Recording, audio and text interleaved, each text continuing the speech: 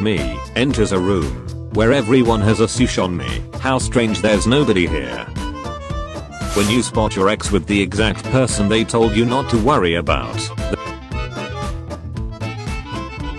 The year is 2006. You just got back from school and about to fly over Los Santos. Life is good. Me ordering food with a VPN. My delivery guy in Nepal. Christopher Columbus getting credit for discovering America while he always thought he arrived India. Girls, is my handwriting good? Yeah but can still make it better. Boys, what did you write here? I don't know. Me on my way to relax by playing a game that makes me unimaginably angry.